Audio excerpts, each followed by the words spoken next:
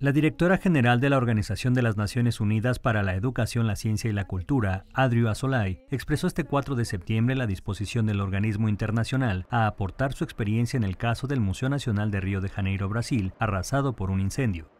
En un comunicado, Asolay expresó toda su solidaridad al pueblo brasileño frente a esta pérdida de herencia cultural inestimable para la humanidad entera.